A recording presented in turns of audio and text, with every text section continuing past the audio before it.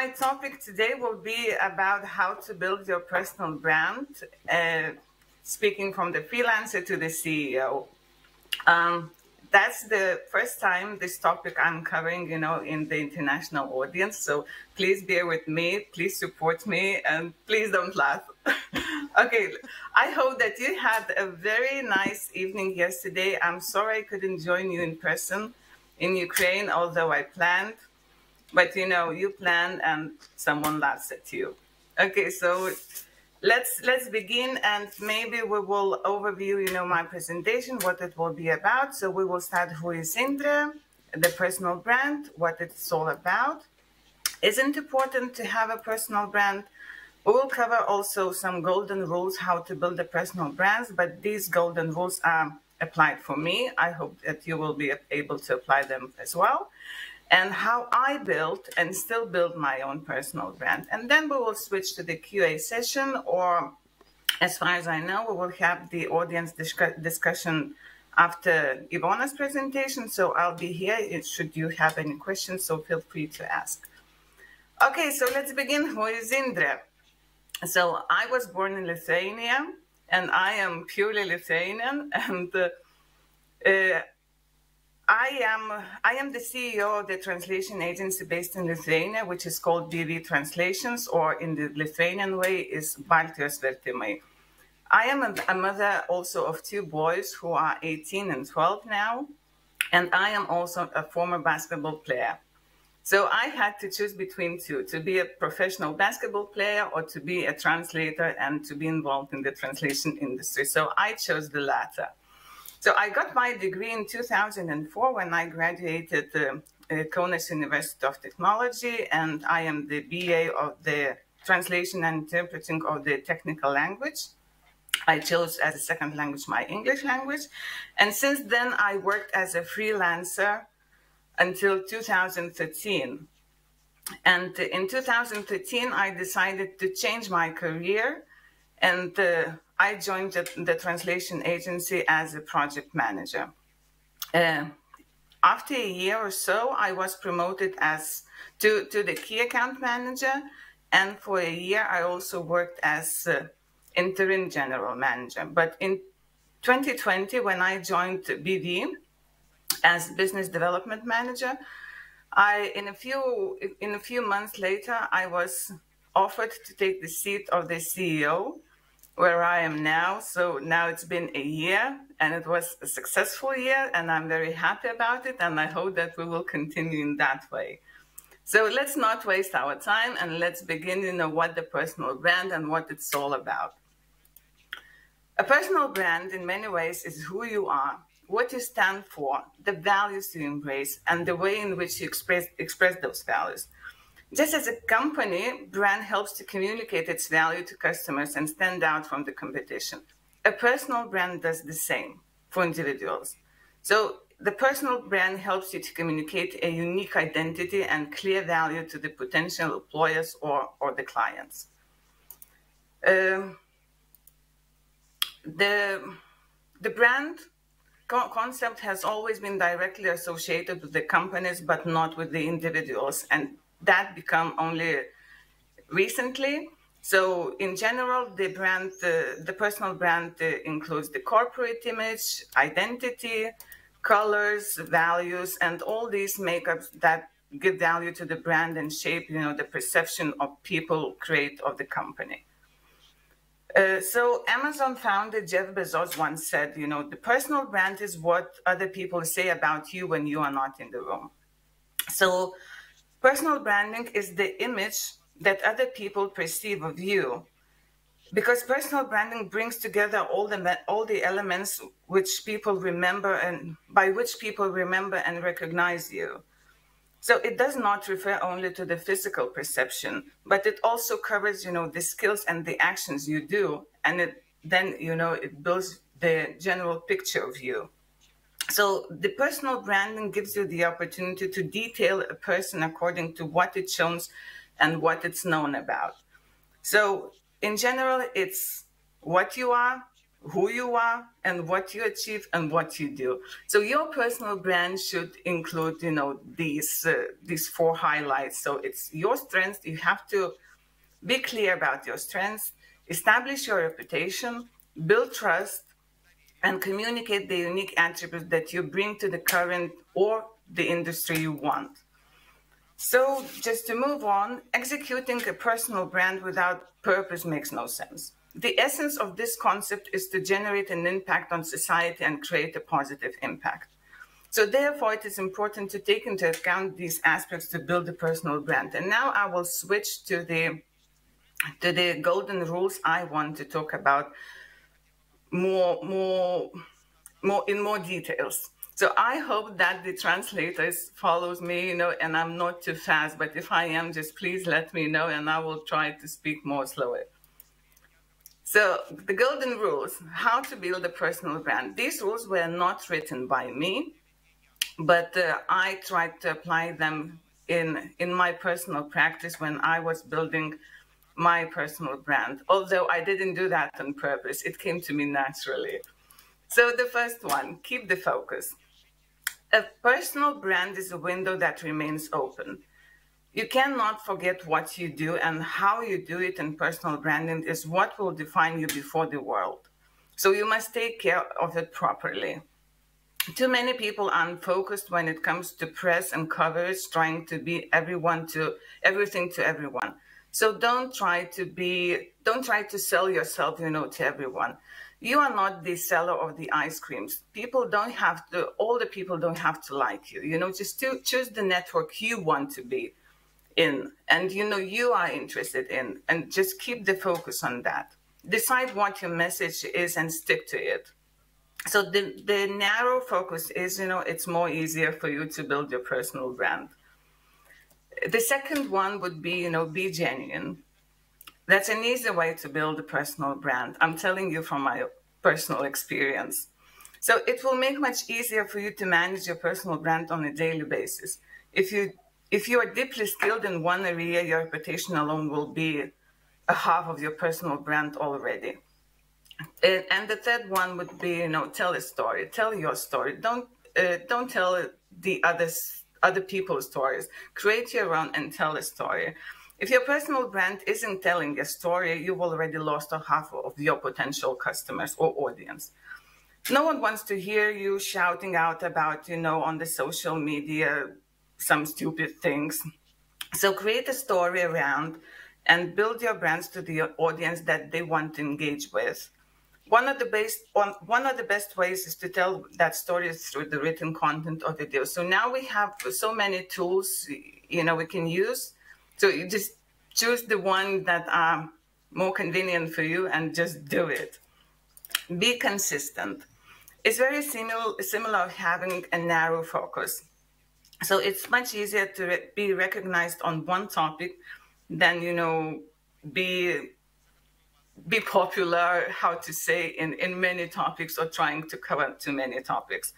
So ensure that your personal brand promise stays stays consistent both online and offline. So that applies when you are giving the presentations uh, online or if you are participating in some discussions or conferences online and uh, you do the same when you are being on site. And I'm sorry again, you know, I couldn't be on site with you today.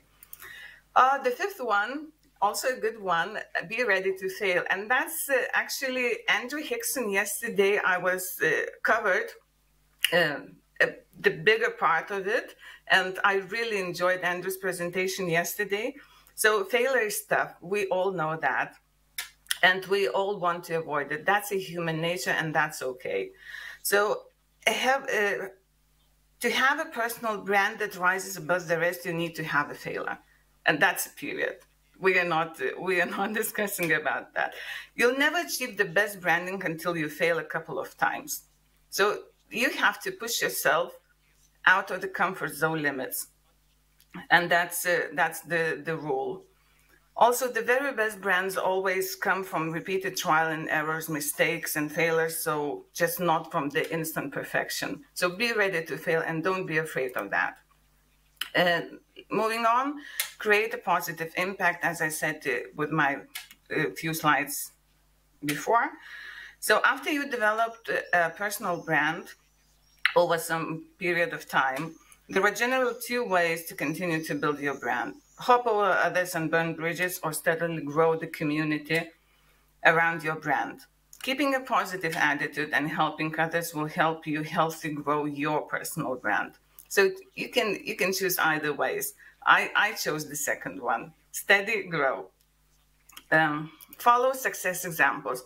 You know that we can find uh, many stories and many examples in our industry. You know, so choose choose the ones, uh, choose the one you like, choose the ones you can apply in your in your life, and just follow them live your brand. That's also very important. As mentioned before, one of the ways you can make building a personal brand difficult on oneself is to separate your brand from your personal life, which certainly doable. It's easier when uh, when initially creating a personal brand to have your actual lifestyle and brand be one and the same. Uh, your personal brand should follow you everywhere you go. It needs to be authentic and you just and amplify in what you believe. Uh, the just before the last one, let other people tell your story. Uh, the best PR is by word of mouth. Word of mouth. Creating a personal brand in the public sphere is no exception to this rule as well. And the last one is leave a legacy. Once you've built a personal brand with a reputation and community behind, the next step is to think about the legacy that you'll leave behind. What are the keywords and actions you are being known for? A personal brand is a lifelong project that constantly evolves and changes. And don't be afraid, you know, to accept the changes. Even the experts who build or enhance the biggest brands in the business is that known that there are no hard set rules for creating a personal brand. So these are the the golden rules I I try to follow and I try to adapt in my everyday life, and I would highly suggest you to try at least with a few at the beginning and then trying to add one and another and another and another. Or maybe you can create your own rules. Who knows? Maybe you will rewrite the story. Um, creating the right personal brand will not only help you be known in your field and in your field and consistently land work, but it could be different between who are you and thank you for being here. Uh, personal branding is one of the most favorable elements for those who want to undertake it. So, working on it in a timely manner is what, in principle, will direct the course of your business. So, uh, the personal brand is what is what will distinguish your project from the competitions. So today's society does not consume what they don't know. So the perception is they have they have to know what you do. They have to know your enterprise or business, and this will make this will make them choose you over the others. Uh, properly applied, personal branding will make you more visible provide confidence to the employers and therefore gen- generate more job opportunities. This could be applied, you know, also for freelancers, for project managers. Uh, I don't know, for every every every employee in the world. It doesn't matter who you are. So how I built and still build and building my own personal brand. So I accepted most unwanted jobs as a freelancer. As I mentioned, I started as a freelancer and we all know, you know, when you are the beginner, it's always difficult, you know, to get a good job, like big projects you want to be involved in because, you know, it takes time when when you start doing the project, you have to be familiar, you know, with the terms, with with the construction, with the processes and also on. So I accepted most unwanted jobs, but what this gave to me, I was, I gained more experience. I learned to I learned how to be more diverse, you know, in the industry, also adaptable to the new challenges and issues. Also, I volunteered in the initiatives I was aware of. And uh, last year, when, when the COVID hit, uh, not our, only our industry, but the world, uh, me and my friend Al Dilgan from Ada Turkey, we, we started the LocPub uh, initiative So that's the Facebook group, you know, and anyone can join. Just please answer the questions. First, if you want to be accepted. So, sorry.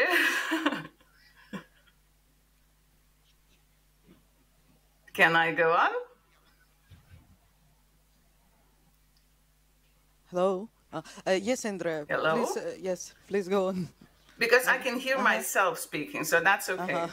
Oh, thank you, thank you for Okay, noting. good.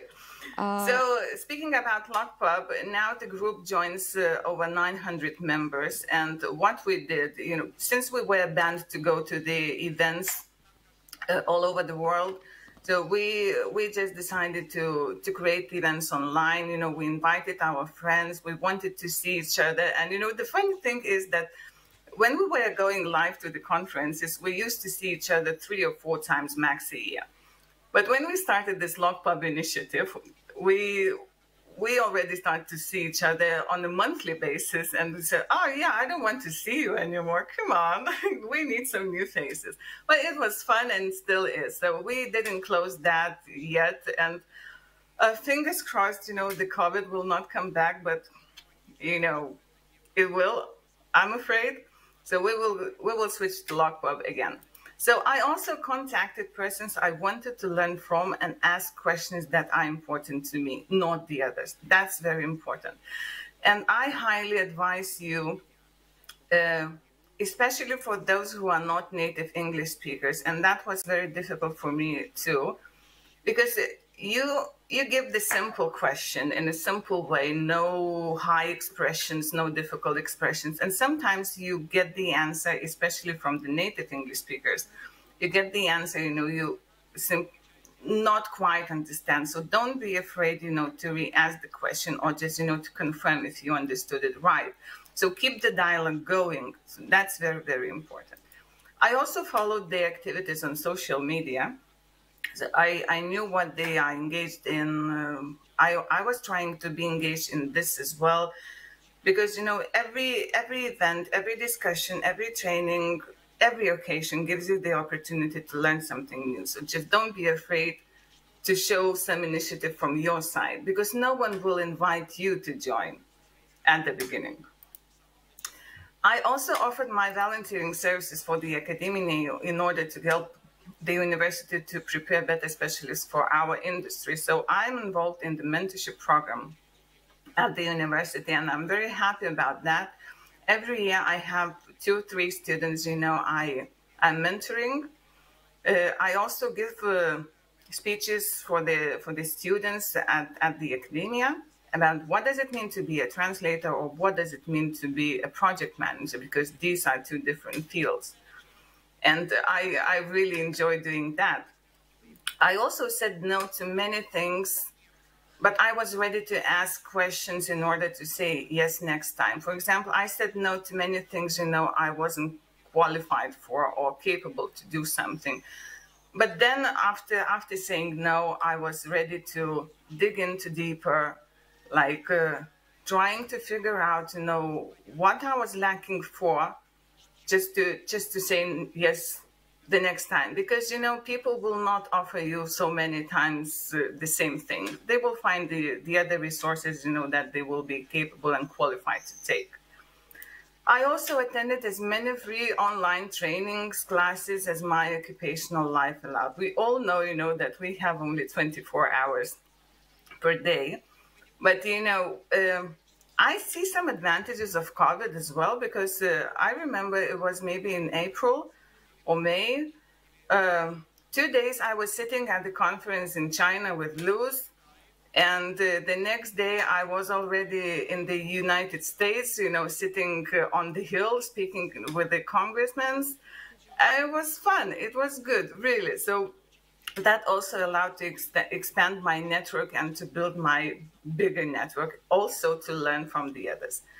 So the last but not the least, you know, I listen to people what they have to say and learn from their stories. So just don't be afraid, you know, to devote some time of, of your precious time, you know, to listen to to people and try to keep the dialogue going.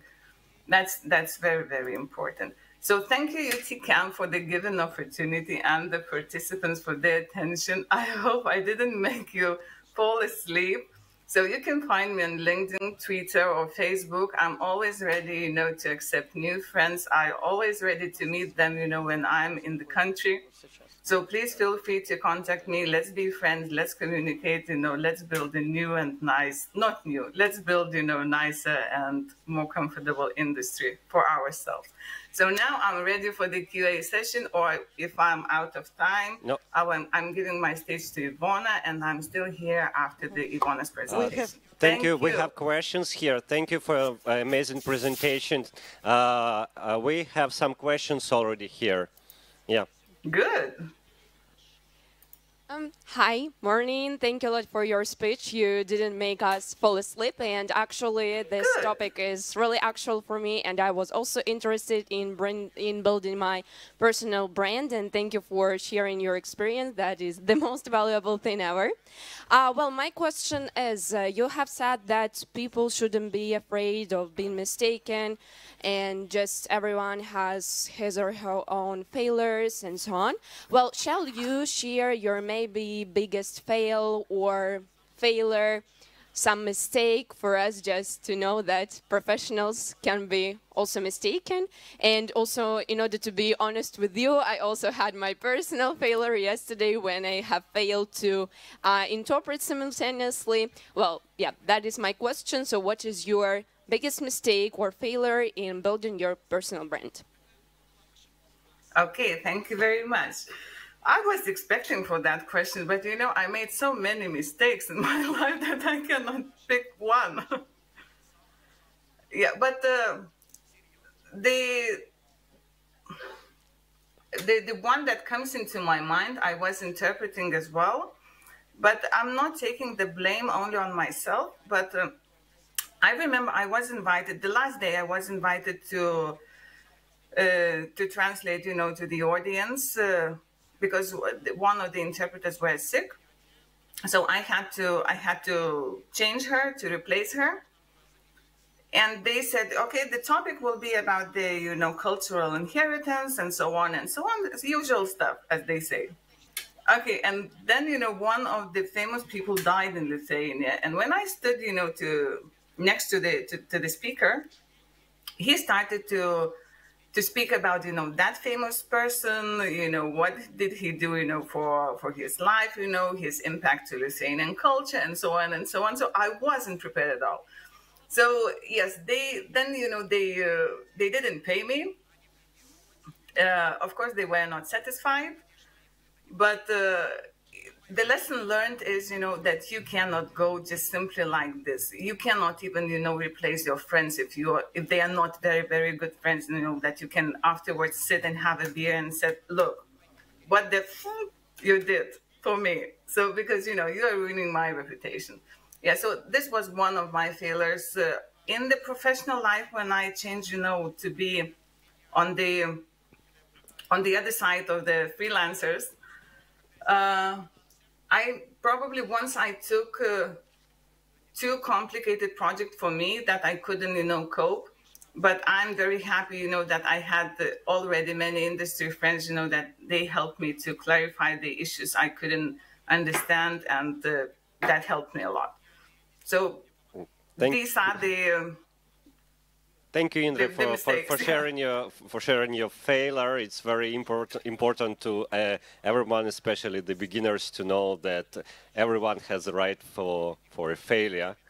Uh, do we have uh, any other questions? Do we have time for this? Ah, we don't have. Uh, we have. We have a couple of minutes -huh. if there is any. One short question, if we have. Or we uh, can leave them uh, for the, this time uh, for audience discussion. Yeah, but we really, we really, we really hope for your engagement and participation in the discussion after the second second um, presentation. Mm -hmm. Yeah, thank you. Thank you, Indrė. Let's give a round of applause. Thank you.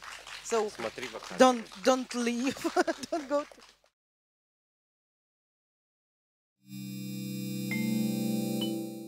Música